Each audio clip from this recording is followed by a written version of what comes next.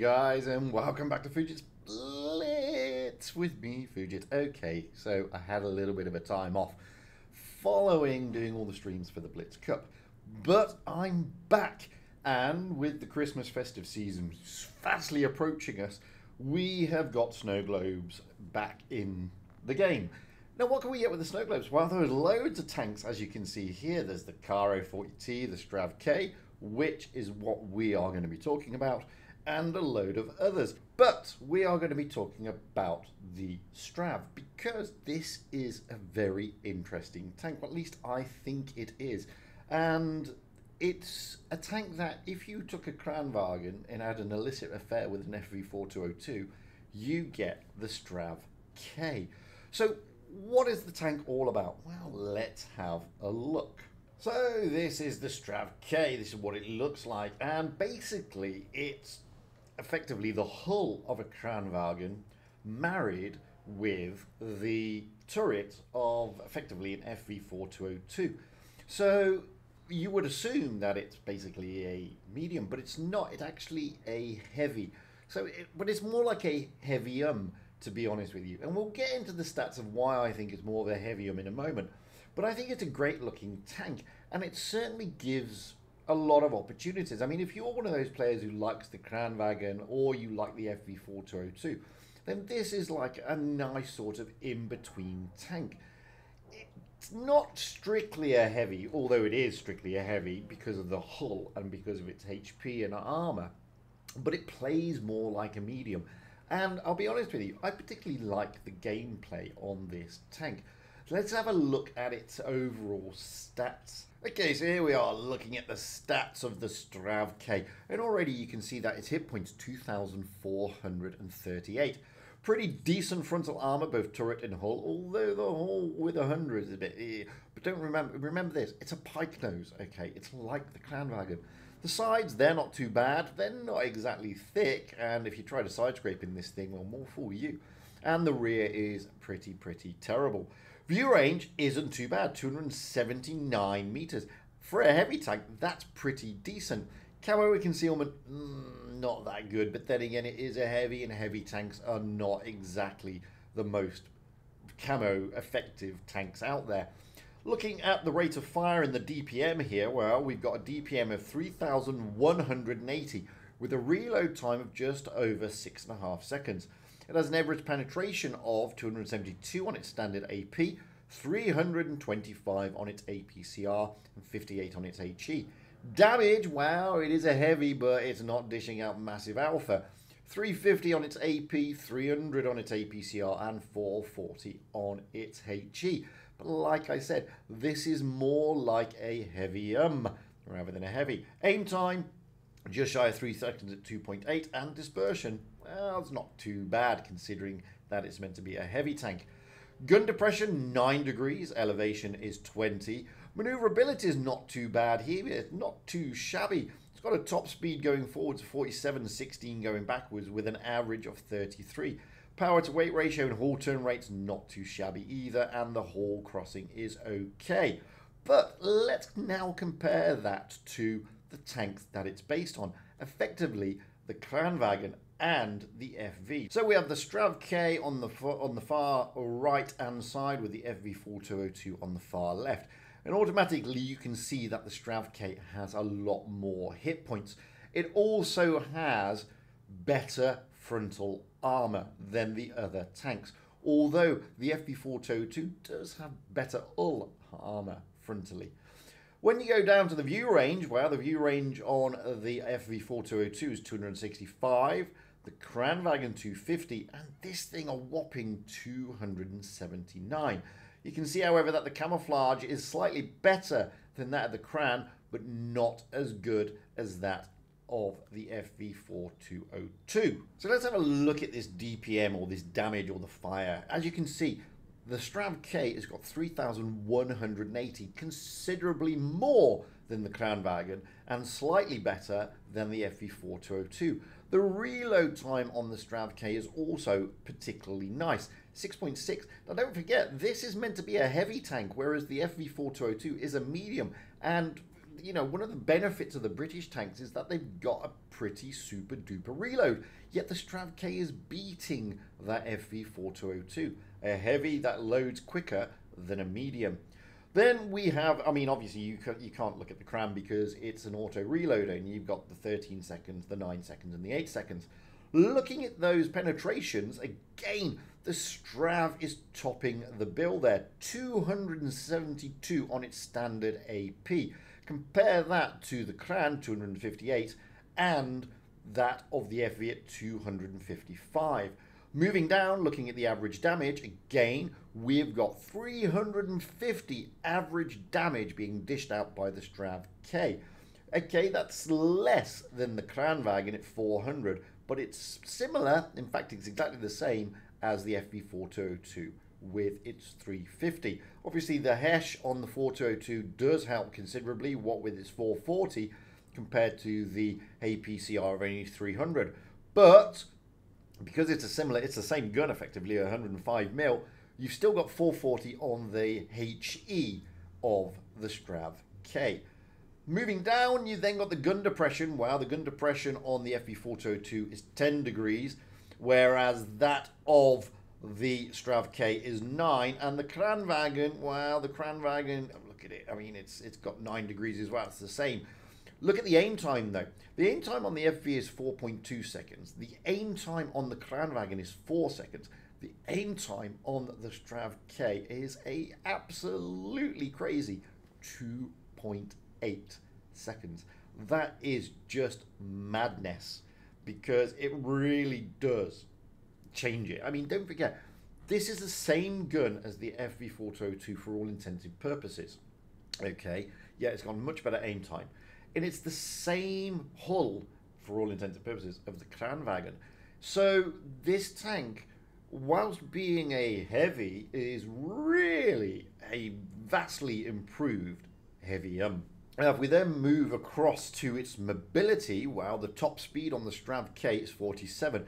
That is considerably slower than the FV4202, but this is a heavier tank. The Kranvagn's only got 30. I mean, the average speed on the FV4202 is 38. Compare that to the average speed of 33, that of the Strv K, with the Kranvagn coming in at merely 24. You can see there the weight of the Strv K is 42.13, whereas the weight of the FV is only 40. So that makes a massive difference. All in all, it's not a bad tank considering it's meant to be a heavy. And it is comparable to, as I said, the FV402 and the Kranvagn, of which it is an amalgamation of those two tanks. So moving across now to its consumables, what I'm running this tank with at the moment is the Adrenaline, because why wouldn't you? I mean, that's just common sense. I'm also running it with the improved engine power boost, because this one does come with an improved engine power boost. And then I've got the multi-restoration restore pack because why wouldn't you do that either? Moving then to the actual provisions, while I'm running the grilled salmon, that just increases my cruise ability overall. And you can see there the view range goes up, the damage goes up, reload time comes down, aiming time comes down, dispersion is improved, etc. etc. And then trying it with the enhanced sandbag armor, it's only given me 136 additional hit points, but I thought I'd give it a bash, see if it makes any difference. And I've then got the protective kit because, again, why wouldn't you? Moving across, well, this is the ammunition loadout that I've currently got 36 AP, 15 APCR, and 5 HE because, well, that's just my normal loadout. It has a capacity of 56, so it's not too shabby in that regard.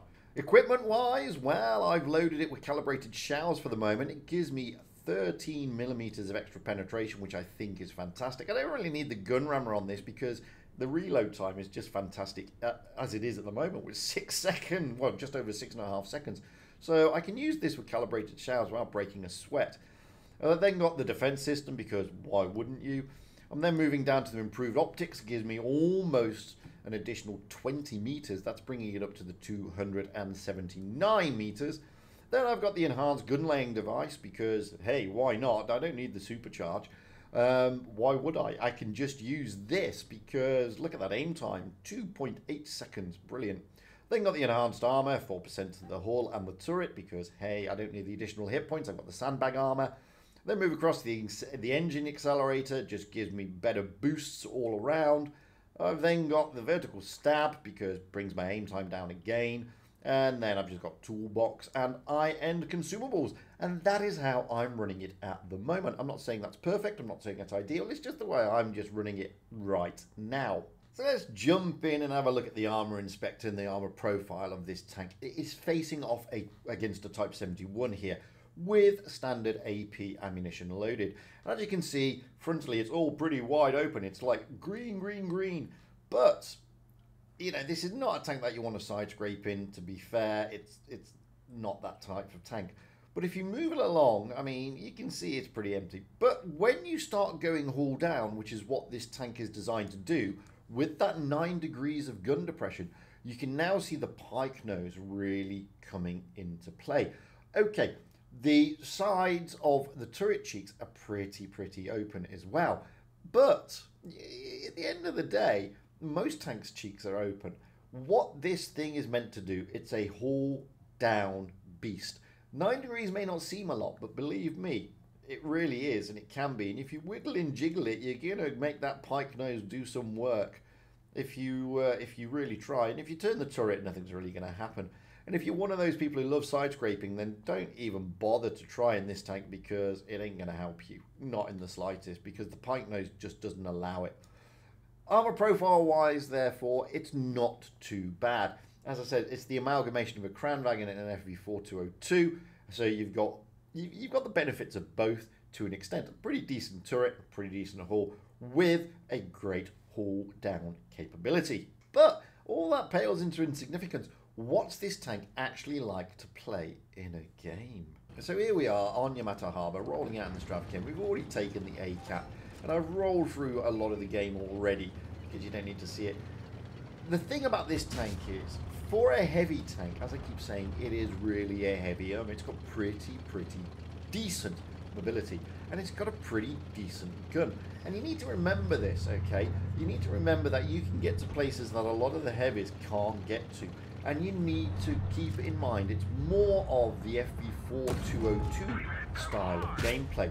So if you like the FV4202, you're going to love this tank. Also, if you're one of those players that loves the Kranvagn, again, you're not going to go too wrong in this one.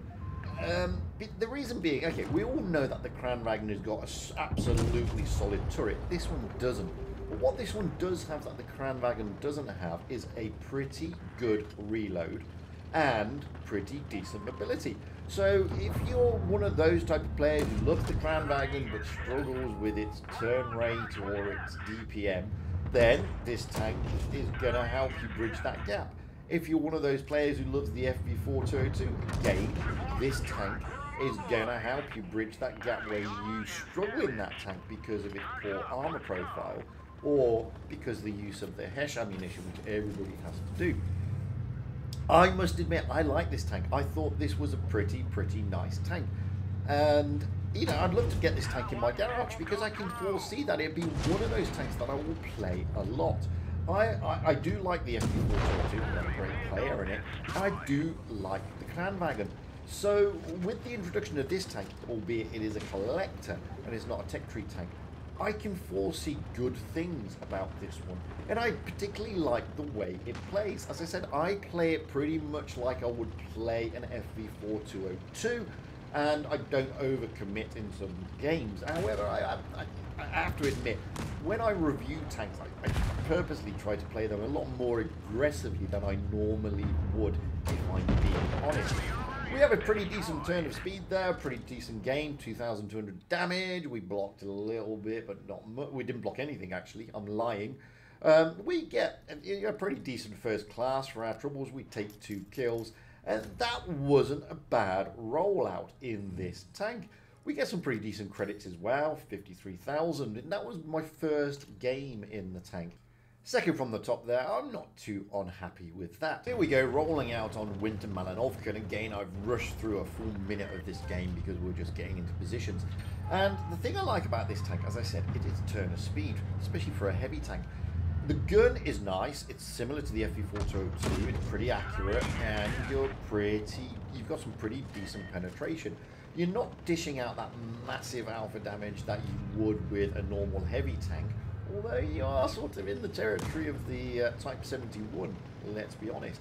But the thing is, when you've got a gun this nice, when you've got a reload this beautiful, and when you've got you know, the ability to get to a place pretty, pretty quickly, that overall the tank is just lovely to play. If you play it, as I say, like a medium tank, more like the FV402, you're going to have oodles of fun in it. I mean, I played it this morning and, you know, I only played three games in it, and I loved every single minute, to be perfectly honest with you. Unfortunately, I am still struggling with ping, quite a lot of ping, but that didn't stop me from still having a good time in the tank. And this is the thing, I mean, it's a pretty decent penetration, and the aim time is just to die for. Hence the reason why I'm getting some of these great shots into that bottom plate of those 60 TPs. And we've already just, we've done like a thousand damage here, so we're not setting the world on fire, we finally take him out. And now we're going to be able to push forward. And this is the thing, I mean, the mobility is just lovely. And again, if you're one of those FV4202 players, you're going to love this tank. There is absolutely no escaping it. And I'll be honest with you, you know, I, I see this tank being played a lot more than some of the other sort of premiums and collectors out there, especially in tier 10.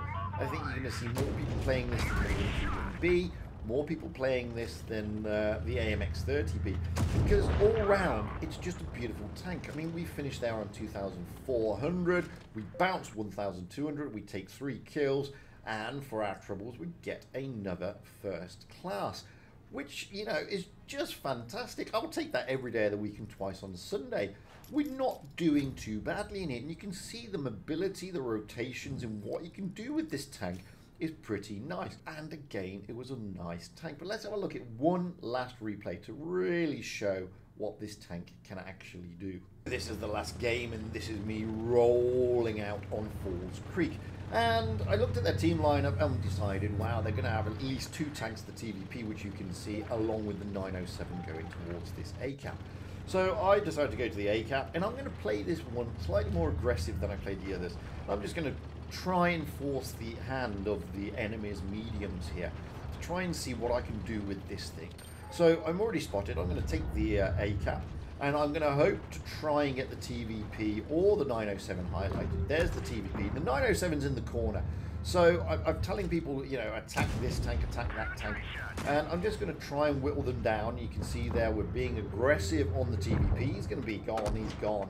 That's one of their dangerous tanks out of the game now I've capped, I'm now going to just rush onto the 907. I'm going to use the mobility of this thing, so drop that double adrenaline, get the mobility working, push round onto this 907, and hopefully I can out DPM him quite easily. And with that aim time, I don't need it when I'm this close, but I'll be able to put these 300 rolls into him and there's not much this poor old 907 can do, not with this penetration and not with this reload. I mean, he's just being whittled down.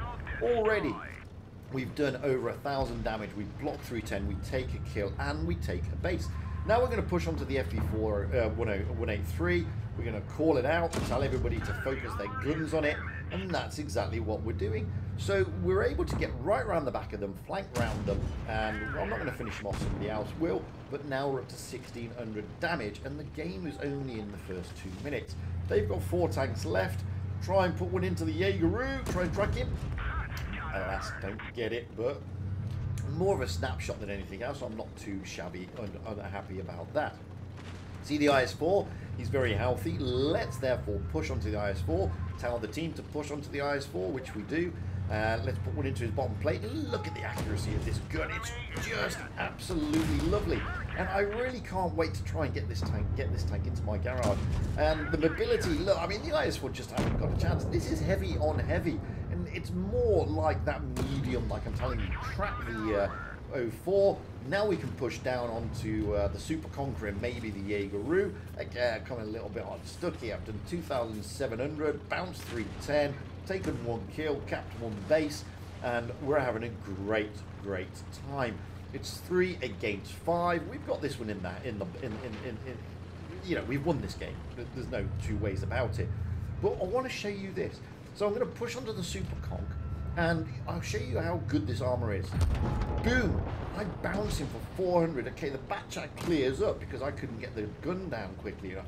But that's a big bounce, 400. Now I'm going to push onto the Jaegeru, and uh, again, my ping wasn't great. But, uh, you know, I don't understand how I, this shot that I pull off in a minute just doesn't do anything. You actually see it go through the tank. There it goes. And all I do is break his tracks. I'm not too unhappy about that because I'm going to get um, the uh, damage assist for tracking him. No point me pushing on the 04. The Batchat will go and finish him off. We finished the game on 2,738. We only took one kill, but we did a lot of assistance damage, and we take a base. We therefore get a lovely little golden M. Ta-da! And that just goes to show what this tank can do. You know, don't be shy with it. It is 125,000 credits, very nice. Don't be shy with this one. It's a lovely little tank. Don't get the top damage. The Bat Chat does that. I mean, he went around just clearing everything up. But I'm happy with that game. That was only the third game I played, so I am very, very happy with the state of this tank.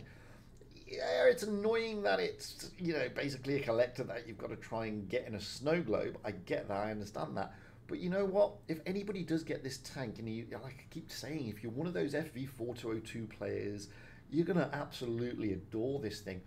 This is a beautiful tank. Now it's a collector, so remember guys, as a collector it can be nerfed. And the chances are this one will, because at the moment I think it's just slightly too strong. Anyway, that's been my take on the new Tier 10 collector, the Strv K. Sits in the European line, and I think it's going to be a beautiful addition to the game. Again, it comes in snow globes, so you know, don't go throwing all your money at it. It will come around again, no doubt, at some time in the future. Uh, I mean, the snow globes, you can get them for either gold or XP. Just be careful, guys. Don't start spending all your hard-earned cash, etc., etc., in the vain attempt to try and get this tank. Because I don't know what the drop rate is on the snow globe for actually getting this one but there's a lot of tanks in the snow globes. So this is the pinnacle tank. This is the, the, the, top tank. So the chances of getting it are stacked against you. But don't despair. It will come around again in the future. So don't gamble on trying to get this one. Give it a bash. Try and get the snow globes for free if you can. And if you get the tank, I'm sure you'll enjoy it. It's a beautiful tank. As I said, it is a collector, so the chances of it being nerfed are available and at the moment, I think this one's a little bit too strong. I wouldn't say it's OP, I wouldn't say it's broken, but I would say it's a little bit too strong for what it is. That the aim time and the reload time are just edging it out there, to be perfectly honest and frank with you. And when you've got a heavy tank that is outperforming a medium tank, and it's effectively the same gun and the same turret, then you have to sort of scratch your head and wonder, will Wargaming change this one? Anyway, I've been Fugit. That has been the Strv K. The collector that is coming in snow globes, which are now available. By all means, comment in everything below. And until the next time, guys, remember, stay safe out there. Have fun on the battlefield. And happy Christmas and happy tanking to everybody, because that's what it's all about at the end of the day. Having fun, guys, and being happy. And I hope to see you all again soon. That's it from me.